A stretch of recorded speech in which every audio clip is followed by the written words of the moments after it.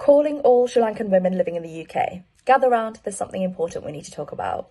The National People's Party is thrilled to announce its inaugural International Women's Conference happening in London, and we want you there. Save the date, it's this Saturday, the 16th of March at 2pm, and we'll be meeting at the Alperton Community School Auditorium Hall in Wembley. Sri Lankan women, this is our chance to make a real difference back home. Let's tackle poverty head on and put an end to corruption. Your voices and your passion are exactly what we need to achieve this kind of change. And as Sri Lankan expatriates, it's our duty to stand with our sisters back home. Let's be their support, their champions, and their strength. The theme of this event is Gahanu Api Ekamita. Together, we're a force to be reckoned with, and with esteemed professors like Harini Amarasuriya, there's no end to what we can achieve.